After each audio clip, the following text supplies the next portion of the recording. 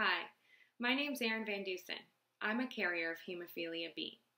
I believe Code Rouge is such an important conference because there is still such a need for education and awareness around women and bleeding disorders. I want to share one example of why this conference is so necessary.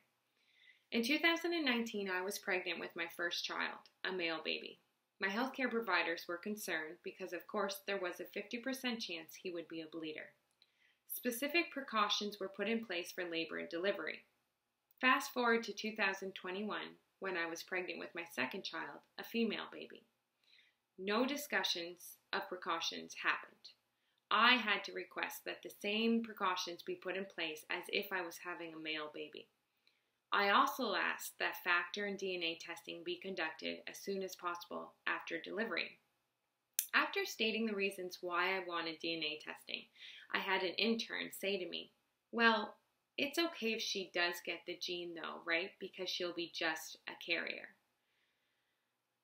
There it was again, that term that minimizes and devalues my experience as just a carrier. I couldn't help it and I said, Well, no, actually. Then I went on to explain my sister and myself both have lower factor levels and have required factor replacement. I also shared that research shows carriers of hemophilia can have normal factor levels but still experience abnormal bleeding.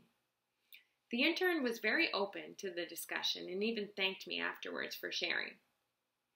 So, as you can see, there is still a lot more work to do with education and awareness. I want to thank all of the healthcare professionals that are working towards the goal of improving the life of women with bleeding disorders. We appreciate you and we need you. Research gives us patients a leg to stand on when advocating for our own care and for the care of our daughters.